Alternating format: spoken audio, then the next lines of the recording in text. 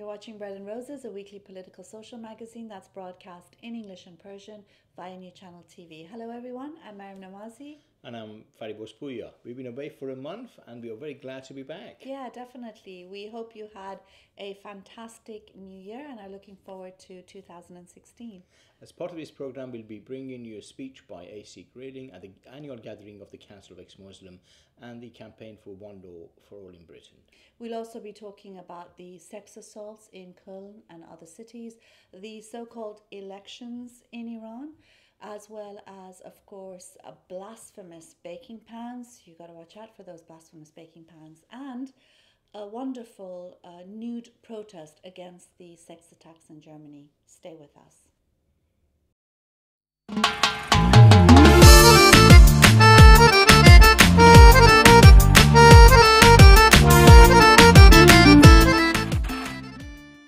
There are two issues that we'd like to discuss in this week's program. One, of course, is the elections in Iran. Elections, that should definitely be something that goes in quotes.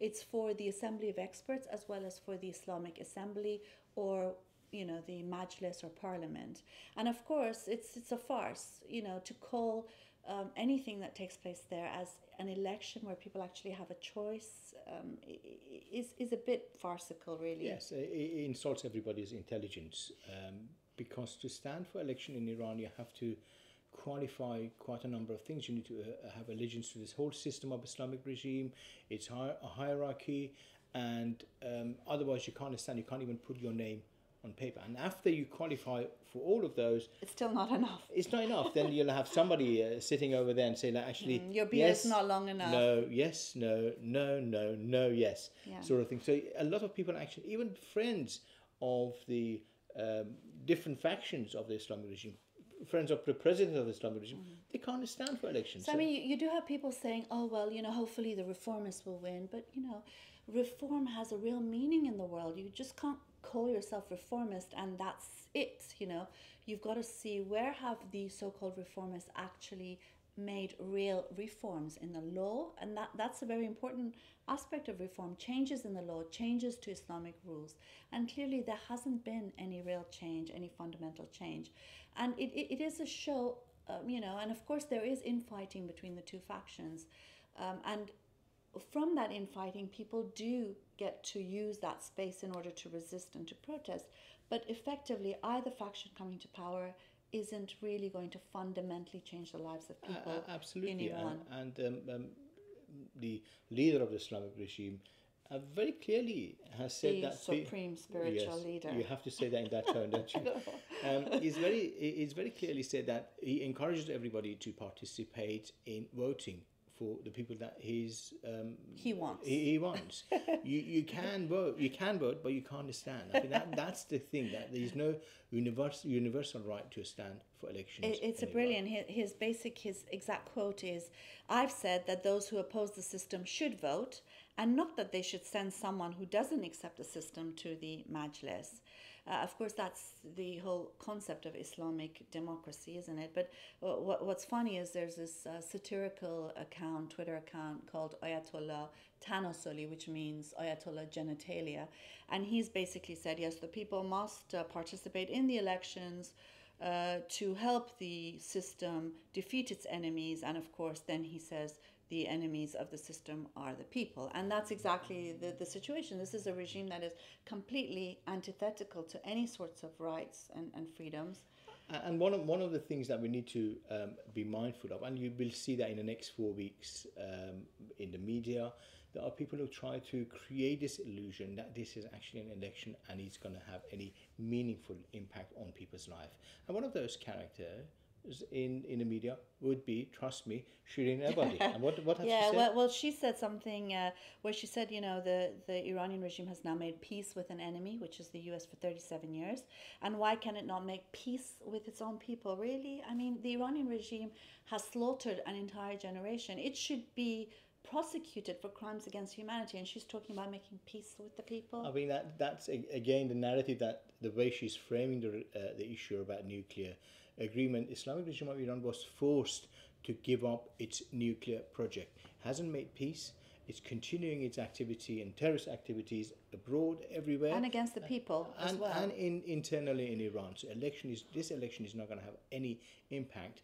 The, the real change will come from people. people actually As always, forcing the people. Islam, forcing the Islamic regime of Iran and, and making sure that they are, you know, they are muzzled. That's Yeah. what, what it is. Let's now go to discuss the other topic we want to. Just uh, I'm being mindful of time, and that is, of course, the mass sex assaults on women in public spaces in Köln, Germany, other cities across Germany, as well as some other European countries like Sweden, uh, Switzerland, and Austria. Just to give you some statistics from the attack in Köln, more than 883 women have so far filed criminal complaints, including 497 cases of direct sex assault, including three rapes, and only only eight people have been detained, which is in and of itself an outrage. And one of the things we'll see various political tendencies and groups will try to uh, define this uh, or give it their own, project their own uh, sort of politics. For example, you'll see the right wing would come and say, "Look, this is a refugee issue, and that if you get rid of all the refugees, then won't, you won't have this Problem problem." Uh, you'll you, you'll have the head of the police in in in uh, and the imam of Köln actually saying. That's the you know what do you expect if people go out uh, the way they behave on New Year's Eve? That's the result. You need to uh, you, you need to change your And behavior then, of course, you've got the left that is completely, you know, pretending like the problem doesn't even exist and that nothing really or out of the or ordinary there has is a problem, but this is not the issue that uh, uh, they, they want to have a look. They don't want to uh, mention the the religious right wing who have a major influence in this. It's a lot. There, there is actually anti. Uh, woman misogyny everywhere. Let's deal with it. This is a general issue. They try to normalize this and actually take away the the um, attention that has been generated. and needs to be continued to be generated. I mean, there's a wonderful essay written by Algerian sociolo- sociologist Marieme Lucas, and in it she says, you know, the usual response is either you know a, a, a response which tries to ignore what's happened or one that tries to perpetrate racism. Uh, there, and the problem is that Europe is not learning from our experiences, the experiences of those of us who have been fighting against uh, the Islamist uh, religious right for many decades. And she gives examples of how similar attacks against women in the public space has taken place in, of course, Tahrir Square, which we all know about, but also in Tunis, in Algeria, and other places, and how this is linked to a larger political movement um, that is imposing its points of view and um, you know misogyny in various ways whether it's via sharia courts whether it's via gender segregation and the veil or whether it is diminishing the space for women in in public Absolutely, and the fact that this was organized, they, had a very clear hallmark of the organization within it. It actually repeated itself. This pattern repeated itself in in different European cities, and nobody talks about the right wing Islamist movement. Remember that East London, the Sharia. Um, Ma- what was it the sharia police sort yeah, of they, thing they, they started going around and telling people to cover up. This is a Muslim area. Stop drinking. Is this, this is continuation of exactly the same thing, and that's what we need to, you know, what actually Europe needs to come and face the issue. Uh, you know, look it in the eye and have no, um, you know, inhibition of dealing with these issues, and it, it needs to be properly investigated. Yeah, and I think we- you know we do need to look at this not as an issue of identity politics or migration, uh, because this is a political issue. You're not going to solve Islamism and its assault on women, which is one important pillar of Islamism, with English classes, with shaving people's beards, with uh, you know, um, I don't know, um, uh, stopping uh, closing borders. This is an international, global issue. To fight it, we have to fight this political movement in, in its various forms, not just terrorism, but also the misogyny uh, against women. And, th- you know, this is, I think what happened in Köln is a reflection of that. When you empower Islamism or the soft Islamists because you want to give, um, you know, you think that it will help against the, The violent the, the jihadists. violent jihadists, this is what it opens up the space for violence against women. Absolutely. And I mean, that's this is um, something that we need to look at it in all. It has different dimensions. We need to look at all all its aspects.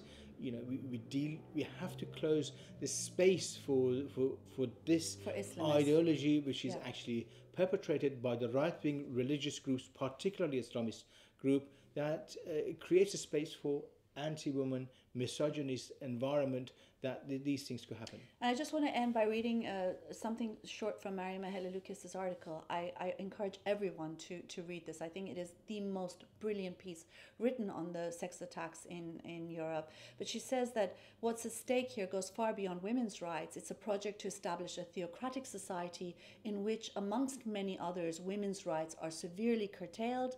The concerted action on 31st of December at the European level and its challenge to women's place in the public space plays exactly the same role as the sudden invention of the so called Islamic veil. It's a show of force and visibility.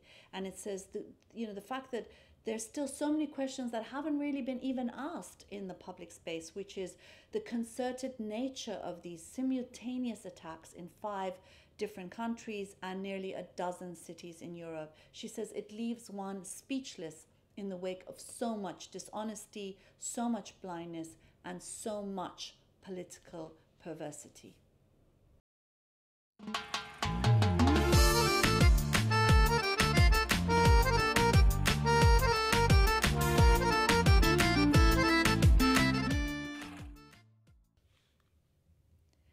The insane fatwa in the week is uh, on baking pans, basically, and uh, it's you know a horrendous crime has taken place in Indonesia where uh, someone reported that some baking pans that they had bought had been covered in verses of the Quran. And this is the Commissioner of Police had to intervene. They've opened the investigate criminal investigation file, and they've gone and, and seen yes, there's more evidence of his crime. They've seen more pages of Quran b- being used to wrap uh, baking trays. Well, and there, there are six actually. They they've found almost uh, as many uh, baking pans as they've managed to find. They had a news conference and told the reporters that you know we can't allow this because and they interviewed the customer who said, look, when I saw this, I was shocked to see that the It- pan has it- been wrapped it's basically yeah it, this is blasphemy of course and uh, unfortunately as the news report says no one has yet been charged with blasphemy. So if you know if you do find the offending baking pans please do you know tell the commissioner so he can actually rest assured and then go after some real criminals. Uh, some of the islamists in uh, indonesia i think who are causing a lot more havoc than a baking pan. And he is that might just be too he's going to be very busy.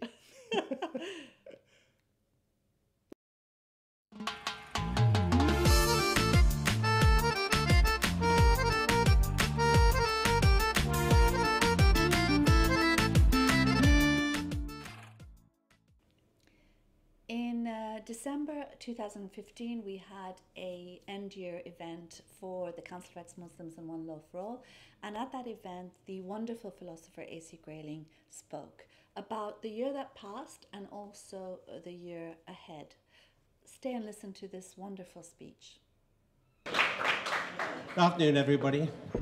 It doesn't seem like a, like a year has passed since we were last gathered together, but it has been a, a, a very mixed year. In some respects, a very dark and a very tragic year. And it's, it's good to remember the fact that this is a, a struggle which is a, a real struggle with real costs. And there are lots of people in this room, people I know with very moving stories, who um, have to live with courage every day, who uh, have painful memories to, to bear with them as a result of the fact that they've made a choice to live differently from the traditional ways of thinking about things. Their refusal to accept uh, constraints on their minds, on their feelings, on their lives, on their relationships with other people. There's a huge, huge body of courage in this room as a result. Um, you know, you're standing next to people who have stories to tell which are, are, are really moving and really deep. And so we should congratulate one another, support one another, recognize this fact about one another. We know that we live in a, in a country where, relatively speaking, at any rate, it's safer than some other places. We look at our friends in Bangladesh, for example, who've really been at the forefront of, of difficulties. But we see, we know that it can be tough here too. I want to take my hat off to Maryam for standing up to a lot of bullying at Goldsmiths recently. You've all seen the footage.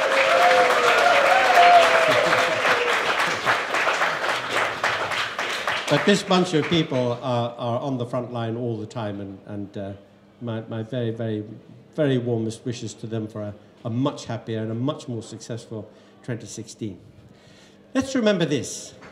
The reason why we have lights and decorations and we overeat and we party and we have a little bit too much to drink and we give one another presents at this time of year is because of the shorter days.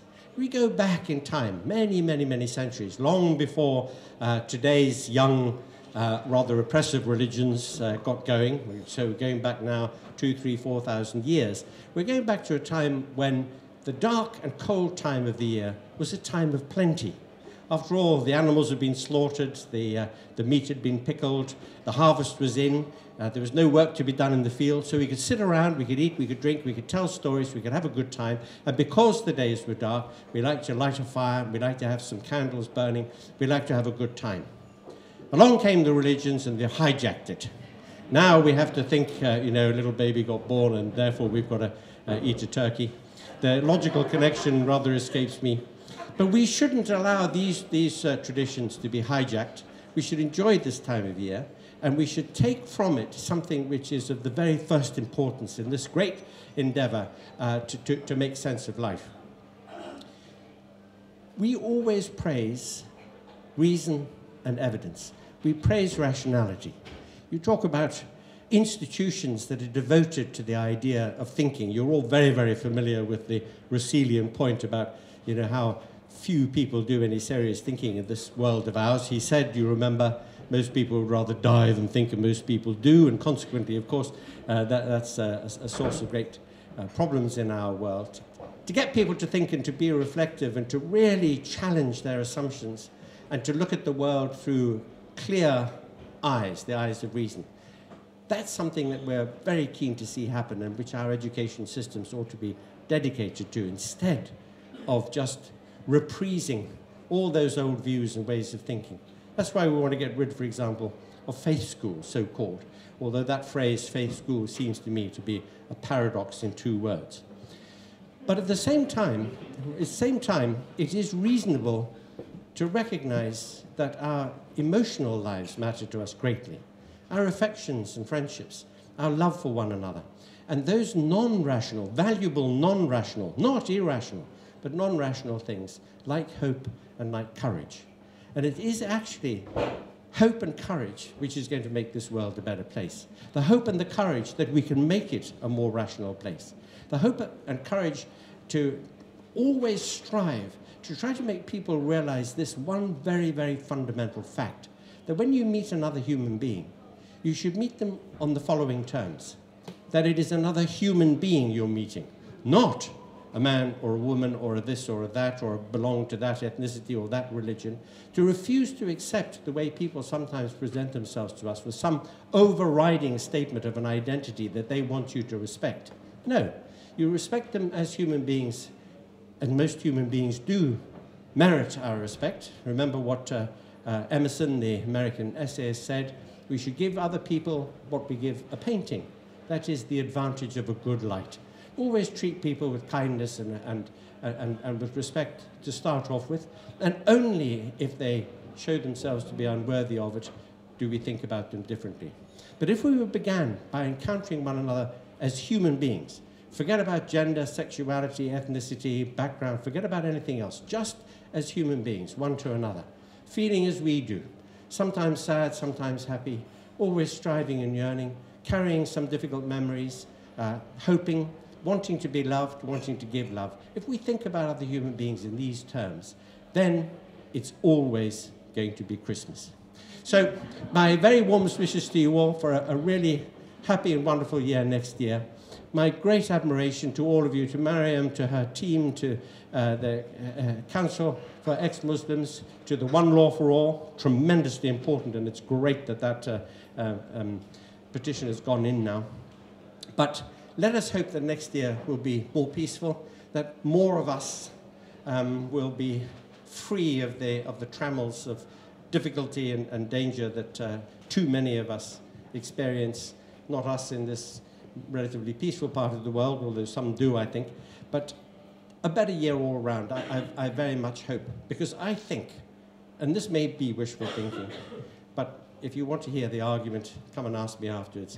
But I do think that the wheels of history are going in the right direction, even though it is a very rocky path. So, onward and upwards. Happy Christmas to you all and a happy 2016.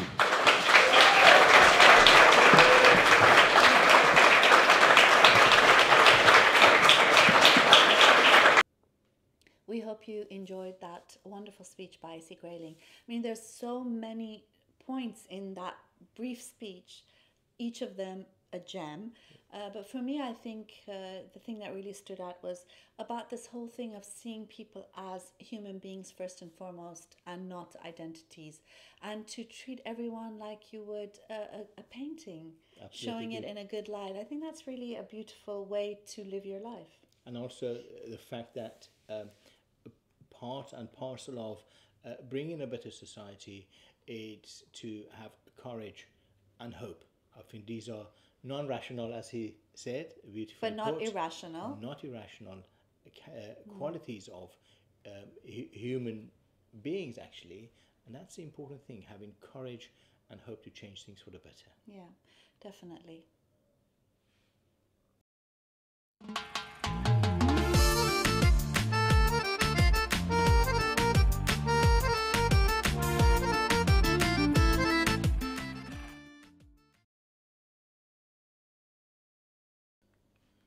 This week's Slice of Life is a nude protest by Milo Moire, a young woman student in Köln.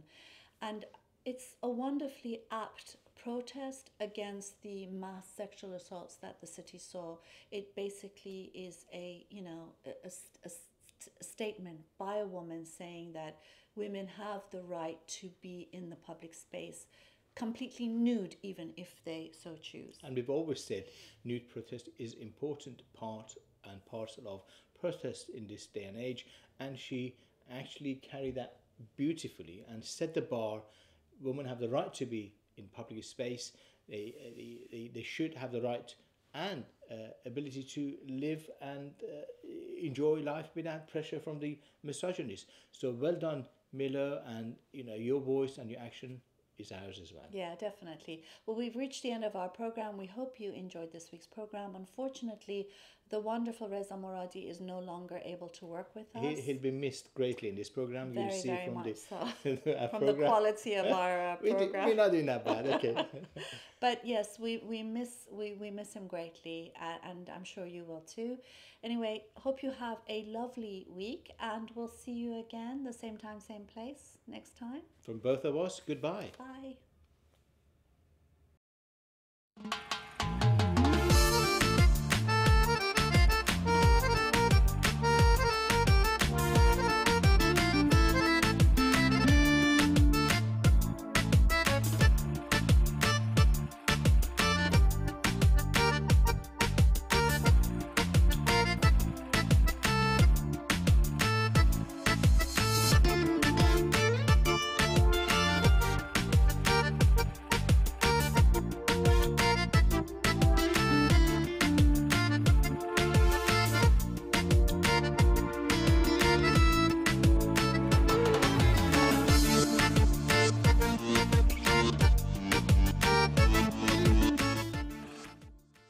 Hi, I'm Maryam Namazie. And I'm Fariborz Pooya. We're hosting a program called Bread and Roses. It's a weekly program that's broadcast in Persian and English in the Middle East and North Africa, primarily Iran as well. And it's also shown on YouTube internationally. And we've been doing this since last May. We're coming up to our year's anniversary, and we, Yeah. we've had quite a lot of fun making these videos. We discuss taboo breaking, free thinking ideas. The Islamic regime of Iran has called us immoral and corrupt. And that's why the, you need to support us. We are and the alternative voice in Middle East and North Africa. of corruption and immorality. So do support us. Here's a short video from Patreon that explains how you can help us with even just $1 a week. That's nothing. support us. Patreon lets fans become patrons of their favorite artists and content creators. It's different than Kickstarter because it's not about one big project that requires lots of funding. It's more for bloggers or YouTubers or webcomics, anyone who creates on a regular basis. Here's how it works when you become a patron, you're agreeing to give an artist a tip of an amount you set every time they release a piece of content, whether it's a new song, a video, or a recipe. You can set a monthly maximum to make sure that you're always within your budget. Choose an amount, enter your payment information, and you're done. Becoming a patron allows you to view and post in the artist's stream, and in exchange for your support, artists offer additional patron packages, which might include monthly Google Hangouts, music production tutorials, pre sale concert tickets, or anything they can offer as a way to say thanks. Patreon, empowering a new generation of content creators.